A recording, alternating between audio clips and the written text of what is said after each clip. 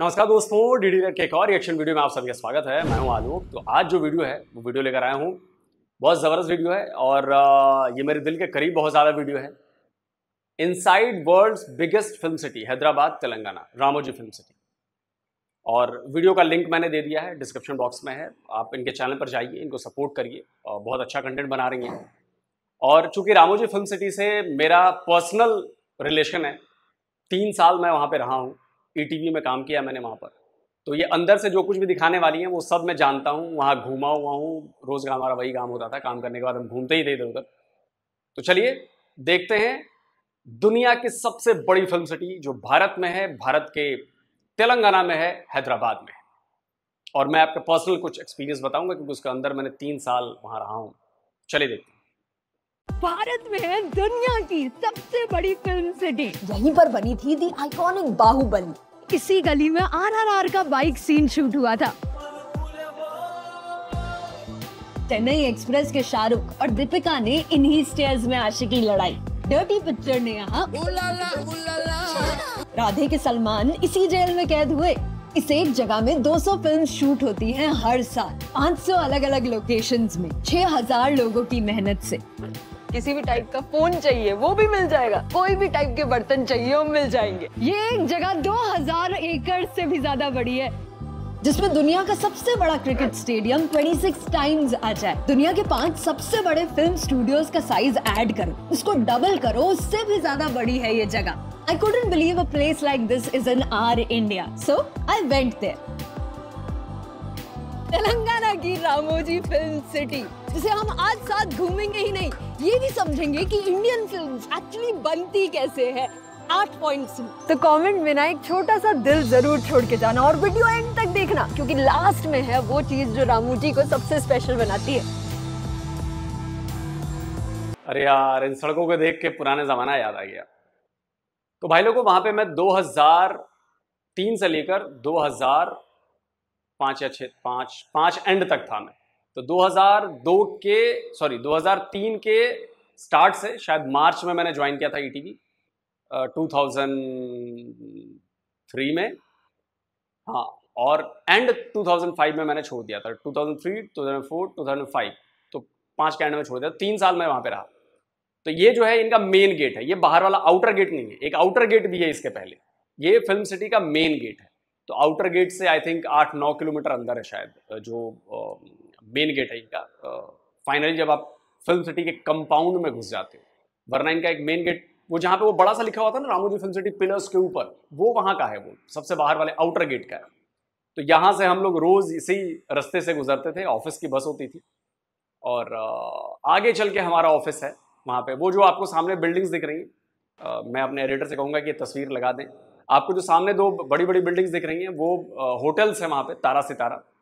Five stars hotels हैं I think जहाँ तक मुझे याद है।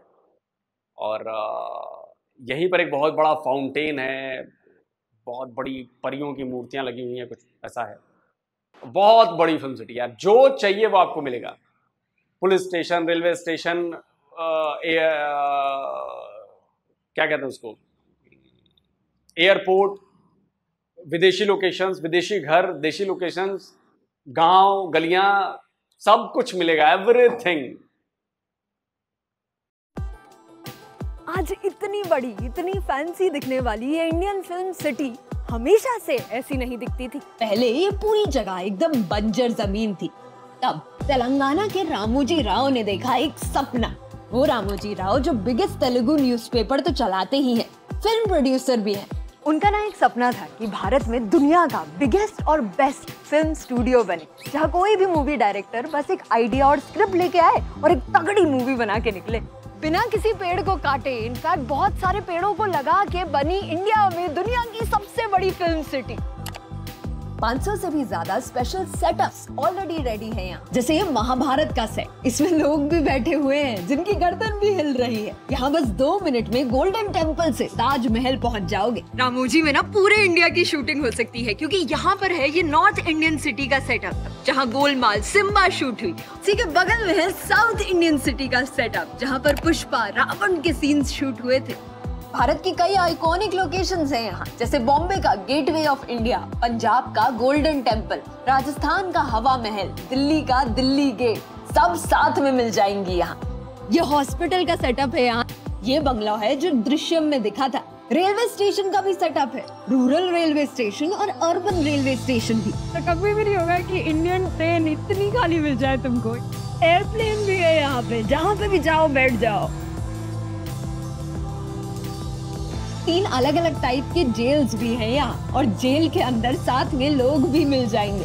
इन सारे सेटअप्स की वजह से यहाँ 40 फिल्म्स एक साथ शूट हो सकती है। रामोजी की सेकंड खासियत है ये हाईली स्पेशलाइज स्ट्रीट्स इस एक स्ट्रीट को तुम कहीं का भी दिखा सकते हो, बना सकते हो, बस इन लैंप्स को चेंज करके। इन लैंप्स की वजह से अभी ऐसा लग रहा है कि हम साउथ इंडियन किसी पुराने साउथ इंडियन टाउन में, है ना? इनको चेंज कर दो तो ऐसा लगेगा कि हम दुनिया में कहीं पे भी और पहुँच गए हैं। पूरी स्ट्रीट बनाई है कॉलेज या यूनिवर्सिटी का लुक देने के लिए। अच्छा जो स्ट्रीट्स की बात है ना, सिर्फ़ लाइट चेंज करने की बात नहीं है। वहाँ पे कम से कम 40 तरह की अलग अलग स्ट्रीट्स ऑलरेडी हैं। और जिन पे अलग अलग लाइट शेड्स लैम्प शेड्स लगे हुए हैं स्ट्रीट लाइट्स लगी हुई हैं। तो आप हर सड़क पे जाओगे तो आपको एक अलग फीलिंग आएगी कि यार ये मैं किधर से आ रहा हूँ।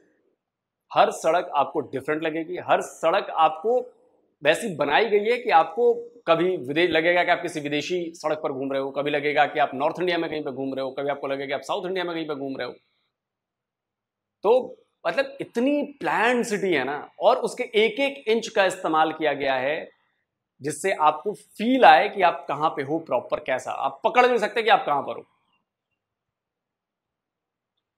कॉलेज के स्टूडेंट्स ऐसी ही स्ट्रीट्स में चल के घुसते हैं अपने कॉलेज में। तो इजीली ये जगह एक यूनिवर्सिटी का फील दे सकती है। यहाँ पे मस्त आशिकी के लिए स्ट्रीट बना रखी है, जहाँ पर हीरो और हीरोइन साथ में चल के आशिकी लड़ाते थे। अगर बात बनी तो साइड में ही एक फैमिली का गार्डन बना रखा है, जहाँ पे हीरो हीरोइन अपने घर वालों के साथ चीज़ें आगे बढ़ा सकते हैं। पर अगर बात नहीं बनी तो साइड में ही एक वैली बना रखी है, जहाँ से हीरो निपट सकता है। यहाँ पे ना अभी अभी एक और स्ट्रीट बन रही है स्पेशल सी वैसे तो ये नॉर्मल स्ट्रीट है कंक्रीट की, है ना? पर उसमें ऐसी मिट्टी डाल के ऐसे, अभी जैसे वो लोग डाल रहे हैं, ऐसी मिट्टी डाल के उसको एक गाँव की स्ट्रीट बना देते हैं। सिर्फ़ देसी ही नहीं विदेशी वाइब भी मिल जाएगी यहाँ क्योंकि इन्होंने ये पूरी स्ट्रीट बना रखी है जापानीज स्टाइल में। ये गेट्स पोल्स ब्रिजेस एकदम सब जापानी वे में रखे हुए हैं यहाँ पे। एक और विदेशी स्टाइल स्ट्रीट इन्होंने बनाई है जहाँ पे सारे घर ना एकदम लंदन स्टाइल में है। लाइट कलर्स में एकदम पिंक येलो ब्लू पर्पल वो वाला जो घर है ना वहीं पर गोलमाल शूट हुई थी।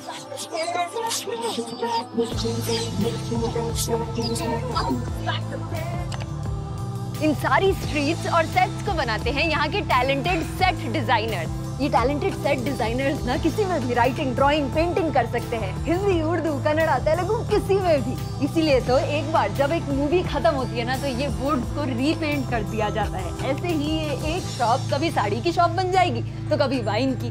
कभी एक मछली मार्केट बन जाएगी तो कभी सब्ज़ी मंडी। अब ना बहुत सारे ऐसे ओल्ड पोस्टर्स मिलेंगे कुछ भी बनवा सकते हो रामू जी के टैलेंटेड सेट डिजाइनर्स से। स्मार्टनेस का ना एक और एग्ज़ाम्पल है ये। ये बड़ा सा प्रॉप जो है इन टायर्स में लगा हुआ है, ताकि ये कहीं पे भी, कभी भी चला जाए, जब भी डायरेक्टर का मन करे, तब वहाँ उसे लगा ले।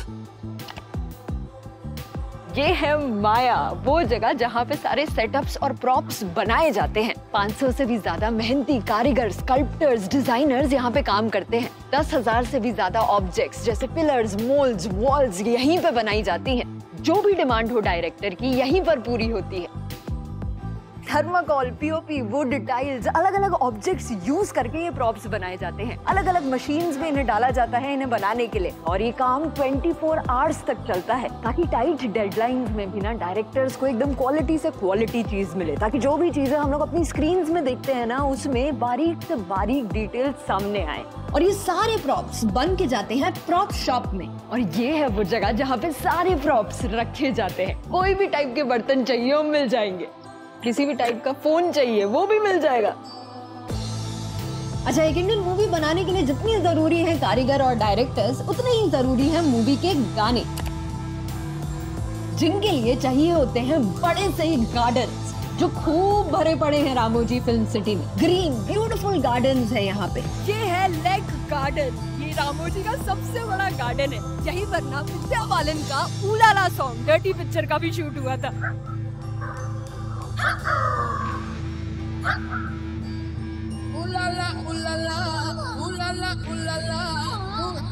ये गार्डन दिल्ली का मुगल गार्डन जैसा लगता है फ्रॉम आउटसाइड अंदर से इट लुक्स लाइक मैसूरू का वृंदावन गार्डन कुछ गार्डन में बहुत से डांसर्स दिखेंगे और कुछ गार्डन में बहुत सारे एनिमल्स रामोजी में ना ऐसे बहुत सारे एम्प्टी पिलरलेस सेट्स हैं जहाँ पे कुछ भी तुम रख सकते हो ठीक है?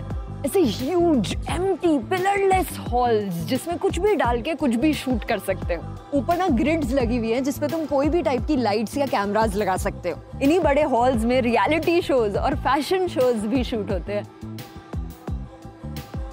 सिर्फ़ मूवीज़ बनाने का ध्यान नहीं दिया इस जगह ने मूवी बनाने वालों का भी ध्यान दिया है, क्योंकि सबके लिए अलग अलग टाइप की रहने की जगहें हैं यहाँ पे। चाहे वो फैंसी सितारा हो सेमी फैंसी तारा हो डॉर्मेट्री सिंगल रूम्स सब कुछ, और सब में ना बहुत अरे वाह, सहारा। ये जो, ये तस्वीर मैं बोलता हूँ, अपने एडिटर भाई को लगाने के लिए फुल स्क्रीन पे, ये जो लिखा है ना, सहारा तो इस बिल्डिंग में हम करीब आठ या नौ महीने रहे थे लगातार। क्योंकि तब हमने नया नया ज्वाइन किया था और तब हमें ऑफ़िस की तरफ़ से ही अकोमोडेशन दी गई थी। तो यही सहारा हमें मिला था रहने के लिए और बड़ी अच्छी जगह थी यार। एक कमरे में आठ आठ बेड होते थे, सबके अलग अलग अपने लॉकर थे। तो हम लोग भाई, तब हम नए नए यंग थे और नई नई नौकरी ज्वाइन की थी तो हम लोग यहीं पे और फ्री में खाना मिलता था हमें। तो नौ महीने तक हमें आप फ्री रहे, नौ महीने फ्री में तीनों टाइम खाते रहे। सोचिए। तो इसलिए रामोजी फ़िल्म सिटी बनाई जो गई है, या वहाँ पे जो ईटीवी का दफ्तर था, अब तो खैर ई टी वी एटीन वालों का हो गया तो वो शिफ्ट कर दिया उन्होंने यहाँ पे। लेकिन हमारे ज़माने में कोई बात ही और थी। और रामोजी इस मामले में बड़े प्रिसाइज हैं। वो अपने एम्प्लॉयज़ का ख्याल बड़ा ज़बरदस्त है। नुकसान हो जाए भले, लेकिन एम्प्लॉयज़ को नुकसान नहीं होना चाहिए।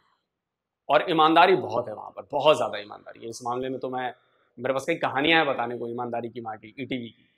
तो इस मामले में मैं रामोजी गारू को कहूँगा कि वो एक तरह से अभिभावक रहे हमारे वहाँ पे। हम लोग अपने घर से इतने दूर थे और उनका इतना बड़ा एम्पायर था, लेकिन हर तीन महीने पर, तीन महीने पर या छः महीने पर, शायद छः महीने पर या तीन महीने, एक क्वार्टरली या शायद हाफ़ ईयरली मीटिंग होती थी। और उनमें हम लोगों को भी शामिल कराया जाता जबकि हम बहुत उस समय हमारा लो लेवल के एम्प्लॉय लो लेवल मतलब ग्रेड हमारा बहुत नीचे था तो ट्रेनिंग थे असिस्टेंट थे, इस टाइप के थे। तब भी हमें कहा जाता था कि आप अपनी बातें लिखिए, लिखकर आप उनको पहुंचाइए और उस पर चर्चा बाकायदा रामोजी राव उसको पढ़ते थे सामने ही मीटिंग के सामने ही और उस पर पूछते थे कि भाई, आपने बात क्यों लिखी है या आप क्या चाहते हो? आइडियाज़ पूछते थे। आप सोचिए। तो ये जो पीपल टू पीपल उनका कनेक्ट रहा ना रामोजी राव का मतलब वो बहुत ज़बरदस्त रहा है। और जो लोग ईटीवी में काम कर चुके हैं, या जो लोग उस वक्त रामोजी राव को जानते हैं, अगर वो मेरा वीडियो देख रहे होंगे तो आप समझ गए होंगे कि मैं क्यों ऐसी बातें कर रहा हूँ। एम्प्लॉयज़ को पूरे हैदराबाद से ऑफ़िस लाने, ले जाने के लिए free bus service free bus service आपको कहीं आने जाने के लिए हैदराबाद में कहीं भी रहते हो, वहाँ से आपको ऑफ़िस आना है, आपको बस मिलेगी। जैसे स्टेट बसेस चलती हैं, वैसे उनकी बसेस चलती थी। और टाइम की पाबंद एकदम। सवा बारह बजे वो बस वहाँ पे आएगी मतलब आएगी। आप बारह बजकर सोलह मिनट पर आए, वो बस जा चुकी होगी। इतनी पंक्चुअलिटी और इतनी सारी चीज़ें और फैसिलिटीज़ बहुत थी। तो भले ही वहाँ पे हमारी सैलरी बहुत कम मिलती थी लेकिन हमें खर्च करने की ज़रूरत नहीं पड़ती थी वैसे। खाना फ्री था आना जाना फ्री था, घर बड़े सस्ते थे, बड़े अच्छे थे तो आप सोचिए। तो रामोजी राव को मैं ऑलवेज मानता हूँ, वो बहुत भगवान उनकी उम्र को और ज़्यादा बढ़ाएँ। और अब तो शायद मुझे लगता है कि नाइन्टी ईयर्स के अराउंड हो चुके होंगे। लेकिन मैं कहूँगा कि भैया, जितनी ज़िंदगी आप भगवान दे सकते हैं, आप उन्हें दें, क्योंकि उन्होंने जो काम किया है ना, बहुत ज़बरदस्त काम किया। अलग अलग टाइप की फैसिलिटीज़ भी है। रेस्टोरेंट्स तो है ही पूल्स वेलनेस सेंटर्स खेलने की जगह सब कुछ है।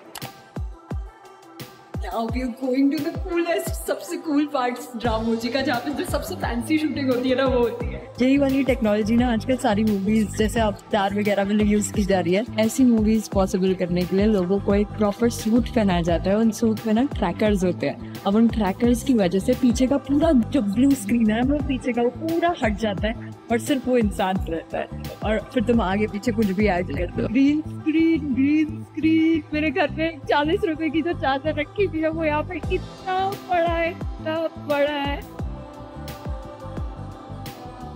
ओ यहाँ ग्रीन तो जिन्हें बहुत ज़्यादा आइडिया नहीं है दैट्स वर्चुअल प्रोडक्शन की प्लेस कह लें हम। बहुत ज़्यादा मैं इसके बारे में नहीं जानता, लेकिन जो इसके लिए काम करते हैं शायद मैं गलत नहीं बोल रहा हूँ। ये वर्चुअल प्रोडक्शन की जगह है। और यहाँ पर सी करेक्टर जनरेटर सीजीआई से आप कुछ भी लगा सकते हैं कुछ भी शूट कर सकते हैं बाद में उसको बैकग्राउंड रिप्लेस कर सकते हैं। और आजकल तो इतने आ, अच्छे सॉफ्टवेयर्स आ गए हैं फोर सिनेमा हो या न्यूक हो आ, या अनरियल इंजन हो इसमें आप तो बिल्कुल रियल दिखने वाली चीज़ें बना सकते हैं। और आपको एहसास भी नहीं होगा कि आप सेट पर हो कि आप ग्राफिक्स के बीच में हो आपको फील नहीं होगा। तो उसके लिए ये ग्रीन स्क्रीन वाली चीज़ें बनाई गई हैं या वो जो ब्लू स्क्रीन वाली चीज़ें दिख रही थी उसके लिए भी। इसके सामने खड़ी हुई, ठीक है, और फिर बाहर देखा कैसे दिख रही हूँ।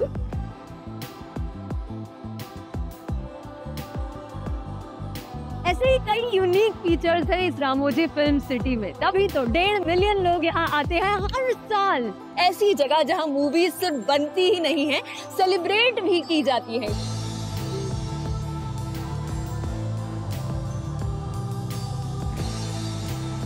क्योंकि हम भारतीयों को मूवीज़ से बहुत प्यार है। तभी तो 20 से भी ज़्यादा लैंग्वेजेस में 2000 से भी ज़्यादा फिल्म्स बनती है इंडिया में हर साल। इसी प्यार और पागलपन को दर्शाती है ये एक जगह। जो भारत के अनोखे कल्चर का एक महत्वपूर्ण पार्ट है। मेरा ना यूट्यूब पर एक एम है कि मैं भारत के हर एक डिस्ट्रिक्ट पर एक वीडियो बनाऊँ और उसका कल्चर आपके सामने लेके आऊँ। तो कमेंट्स में ना अपने डिस्ट्रिक्ट के बारे में एक खास बात ज़रूर लिख के जाना एंड सब्सक्राइब करना टू योर मेट के के क्रिएट बाय तो भैया के के क्रिएट इनका चैनल है। लिंक मैंने नीचे दिया हुआ है। आप जाइए इनका काम देखिए इनको सपोर्ट करिए। बहुत अच्छा काम कर रही हैं। और मैं सपोर्ट करता हूँ कि भाई आप आगे बढ़ें, और बढ़ें, और अच्छा काम करें।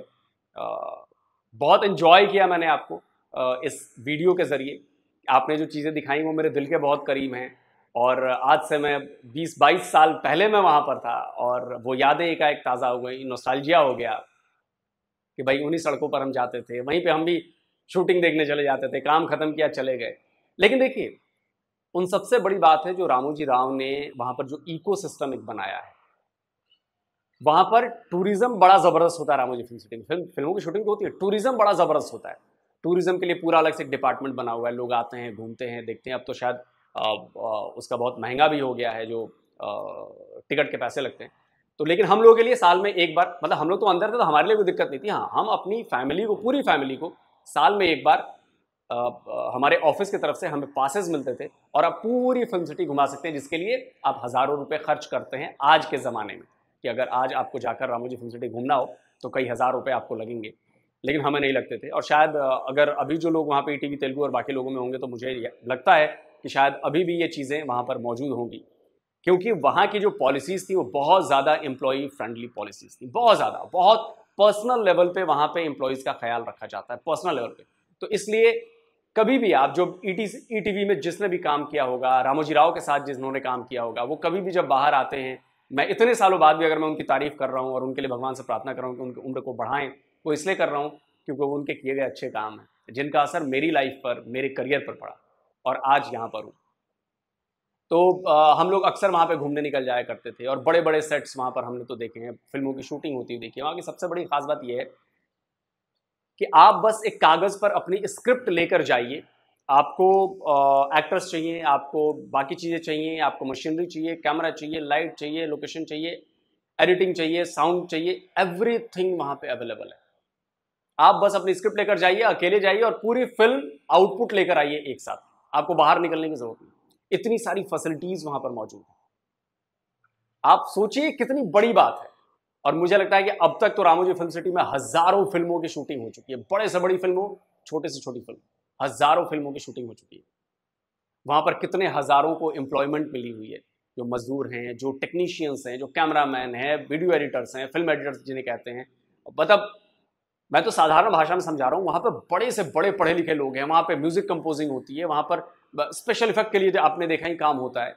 पूरा डिवीज़न है उनका अलग अलग आई थिंक सिम्फनी है उनका ऑडियो डिवीज़न जहाँ पे आप डबिंग हो म्यूज़िक कंपोजिशन हो एवरीथिंग जो चाहिए आपको उससे मिलेगा ऑडियो से रिलेटेड कैमरा वहाँ पर, मुझे याद है कि उस वक्त वहाँ पर वैसे कैमरे थे जो दुनिया में बहुत कम पाए जाते हैं. चार चार करोड़ तीन तीन करोड़ के कैमरे थे उस टाइम पे मतलब आज से बीस साल पहले की बात कर रहा हूँ मैं, और जो सिर्फ़ पूरे इंडिया में दो या तीन ही कैमरे थे, उनमें से कैमरे रामोजी फ़िल्म सिटी में थे. कैमरे की पूरी बिल्डिंग है भाई साहब वहाँ पर. अलग अलग कैमरेज रखे हुए हैं, सब सारी चीज़ें इक्विपमेंट्स आप सोचिए। तो बड़ा मज़ा आया इस वीडियो को देखकर और जिन लोगों ने अगर नहीं देखी है रामोजी फ़िल्म सिटी, मैं आपसे गुजारिश करूँगा, आप लोग जाइए, रामोजी फ़िल्म सिटी घूम कर आइए, आपको पता लगेगा कि मैं क्या कह रहा हूँ। इसीलिए, और सबसे बड़ी बात Guinness book of world record में स्क्रीनशॉट लगा देता हूँ Guinness book of world records में हमारी रामोजी फ़िल्म सिटी का नाम है, दुनिया की सबसे बड़ी फ़िल्म सिटी होने का रिकॉर्ड उसके नाम है। पूरे वर्ल्ड में इतनी बड़ी फ़िल्म सिटी कहीं नहीं है। तो Guinness book of world records में नाम है उसका। और बड़ा प्राइड फील होता है कि हम उस जगह पर रहे हैं, तीन साल रहे हैं। उसके चप्पे चक्के, चप्पे से हम लोग घूमे हैं, गुजरे हैं। कमेंट करके आप बताएँ। जल्दी मिलता हूँ एक और नए वीडियो के साथ। नमस्कार। जय